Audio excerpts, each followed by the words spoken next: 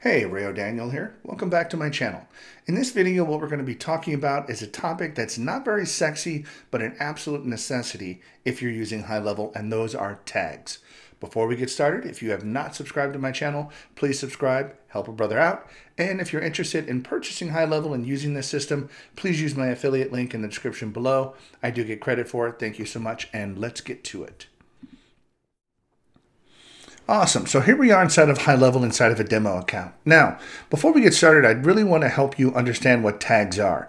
They're not something that high level created. They've been used by many different systems, but all in a way, it's, a, it's a really the ability to organize your contacts to be able to find them later. You can imagine if you get 10, 100, 1,000, 10,000 leads in your system, and the leads are in different stages. You know, it could be like before you, you know, pre-lead, and it could be a hot lead. You know, they could have booked an appointment. You're not quite sure what stage this particular contact is in. Well, you can create tags for each particular level just so that you can quickly and easily find people that are in a certain stage or a certain phase of your business. That's what tags are really useful for. So in this example, what I wanted to use is just something that's already built in to sort of the high level um, account, and that's opportunities and pipelines. So I'm going to use that as an example of how we can create tags and tag people as they go through your pipeline. Now, here I'm going to hop in opportunities and go over to pipeline. This marketing audit leads, this is one that High Level created themselves. You see there's several stages here. We're not going to go through all of them, but there's several stages and we're going to show you some examples of how you can utilize tags inside of High Level and how they become useful.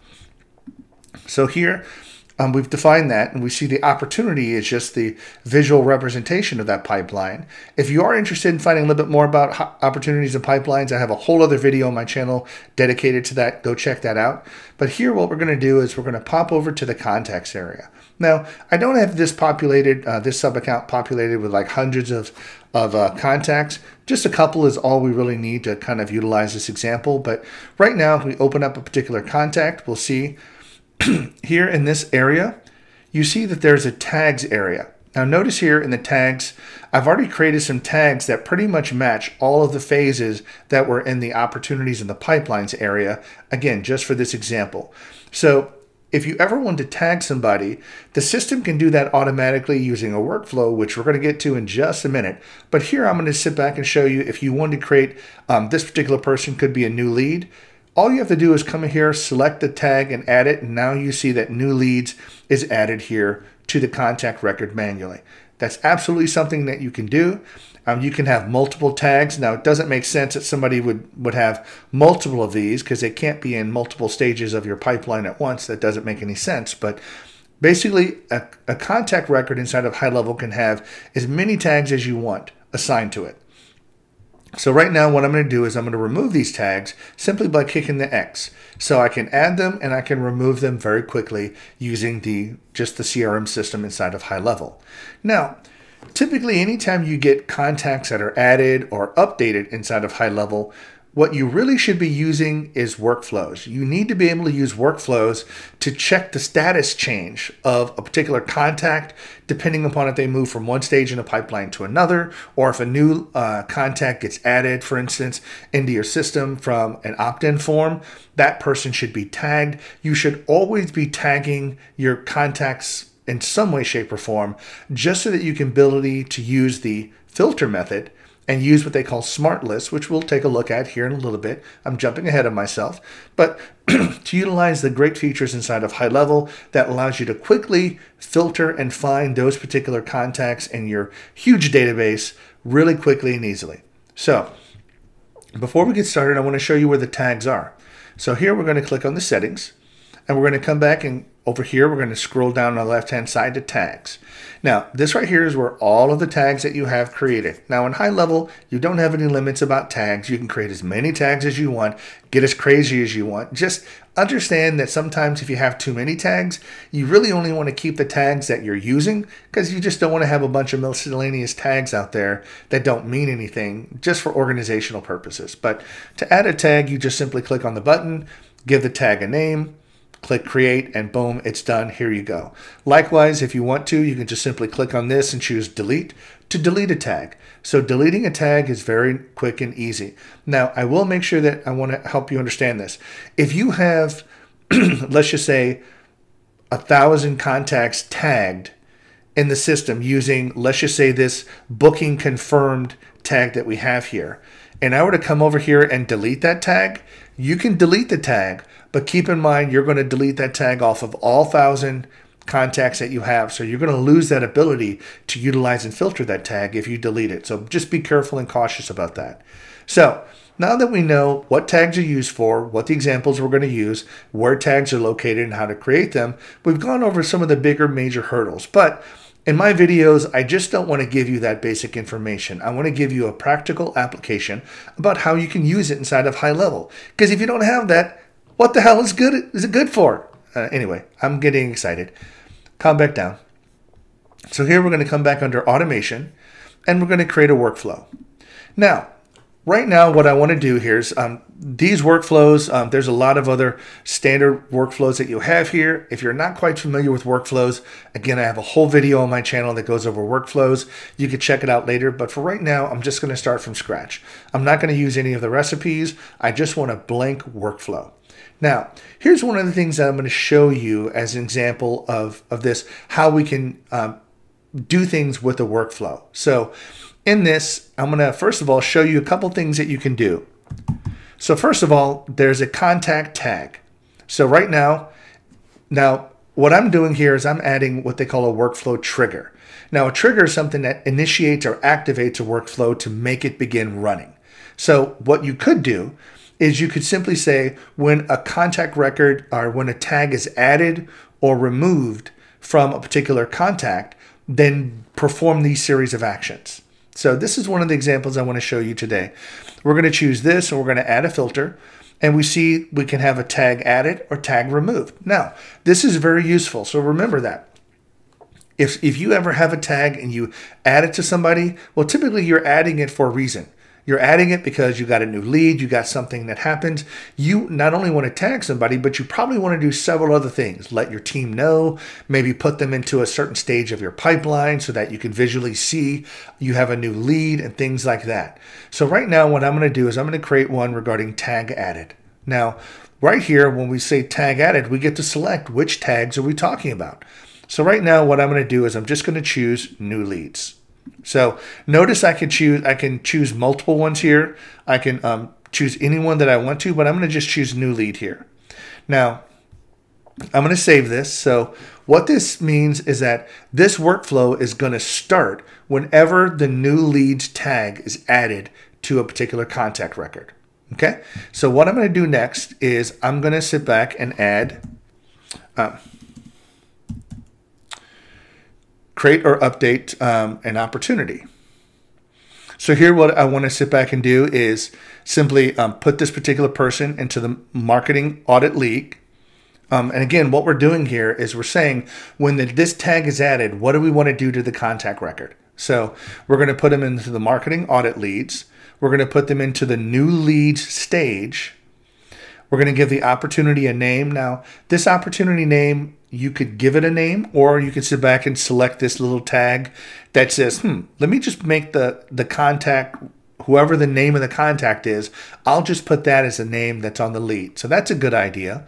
Now, the opportunity source, this depends upon where it came in from. If you have a source, you can put a source here a lead value. If you get a lead, typically businesses know how much a lead is going to be worth in their business.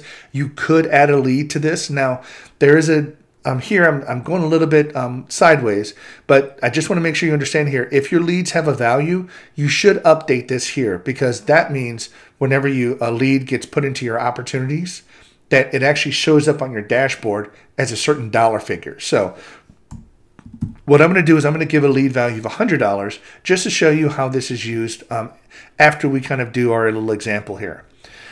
so right now we've got a couple of other options. I'm just going to choose that. I'm going to publish this workflow. I'm not going to give it a name here. I'm just going to simply click save. Now we have a workflow that basically whenever you add the new lead tag to it, moves that particular contact into the opportunity phase. So let's take a look at that. So here we're going to take a look at the opportunities. Now notice under new leads, we have none, zero leads. So what we're going to do is come back and do the exact same thing that we did earlier. We're going to go to Jane's contact. We're going to come down to tags and we're going to simply assign new leads. Now, when this new leads gets added, the workflow, pow, it activates, it creates, it does its thing. And next thing you know, we come over here, if everything is right, look at our opportunities. And now we see Jane Smith, because we wanted to have her full name on here. So that's her name, Jane Smith, $100. That's how much she's worth. And she's in the new leads category.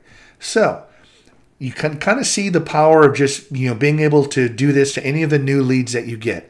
It's a great way to organize your data to make sure that you can keep track of all the leads and whatever phase they're in now this could be a lead that you didn't win it could be an outdated lead well it, you want to tag those people too because you want to be able to sit back and maybe pull those leads back out of your database later or your crm system forgive me and actually maybe do a database reactivation campaign campaign on them to run them and you know try to get their business again. But it's nice to know those people that you didn't win because now you can specifically target them inside of high level by just looking for their tag. Now, I wanted to show you that. Now, before I kind of get into showing you how you can utilize tags in the CRM system, I want to bounce up here to the dashboard. So here in the dashboard, notice now that we have this, we have one opportunity, and we see the pipeline value is now $100. Isn't that great? So that's great because now, because we added that dollar figure to the lead and we added that particular lead to our pipeline, now our dashboard becomes populated. Now, when people look at the dashboard, we see potentially how much money is in that pipeline. Um, so again, you can imagine if you had 10, 100, 1,000 people at 100 bucks, this would be a pretty expensive pipeline. That's just money waiting to be made there. So I know I'm getting ahead of myself. I do get excited when I geek out and talk about this stuff. So let me show you back in the contacts area how we can utilize the tags to begin filtering our contacts. Now I know we only have two, so please forgive me. This is just a little example. What I want to show you here is you want to click on more filters. You want to come down here to the tag area and filters, again, we're filtering the list based upon the tag. So we're going to say tag and we're just going to say, you could say is not empty, is empty. So I want to show you this because if you have a bunch of contacts that are in your CRM system that have no tags on them at all, you can simply say is empty. Show me like all the people in this list where the tag is empty. Okay. But what I want to do is I want to specifically find all of the leads that we just tagged called new leads. So right now, what I want to do, notice it gives me a drop down list. I want to select new leads and I'm just going to click apply. Now, what this is going to do, it's going to filter that list. Jane Smith was the only contact that actually had the new leads on it. Okay, because we just manually added that. Now, one of the nice things that you can do to this is come down here to the bottom and click on this little button right here, Save as Smart List. Now, smart lists are a great way, once you filter something, you can say Save a Smart List, give it a name, and I'm just going to call it new leads. Now, when I do this, I don't need this filter anymore. Okay, I can come over here and clear these uh, clear these filters by just simply clicking this box. So when we do this, we come back here to the contacts area. We see all of our contacts. Now, if we come back in here to our new leads, this is our smart list. The smart list is sort of a saved, filtered view of your CRM system based upon the tags that you have. So, again, if somebody has more than one tag, they may be able to show up in more than one list. That just makes sense. But all we're looking for here is just the tags that for new leads. So anybody that gets a new lead that gets added here will now show up automatically in this list, which is great because if you have a team of people all doing different things, you may want to have a, a certain smart list where your team can go through and look at all the new leads quickly, look at them, and then be able to sit back and communicate with them at any given time.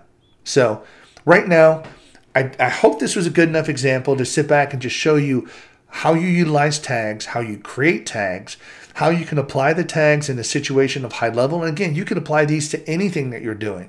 You know, it could be your own business process that you're doing, but pipelines is a great way to apply new leads.